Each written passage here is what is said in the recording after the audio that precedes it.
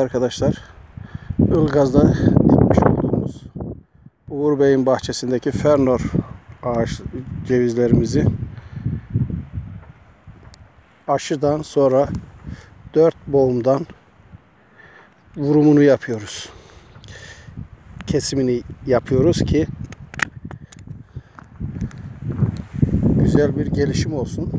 Sonra onların çanaklarını da yapacağız. Bakın yapmış olduğumuz çanakları şu şekilde yapacağız. Bunları da vuracağız şimdi. Bahçeyi yaptık. Burası Çankırı biraz. Çanaklarını da bu şekilde yapıyoruz. Bunun da tepe vurumunu yaptık. Dört gözden kestik. Şimdi oralara aşı macunlarını da süreceğiz. Allah'ın izniyle güzel bir bahçe olacak. Ben Recep Tiryaki. Ceviz, badem ve bahçe bakım uzmanı.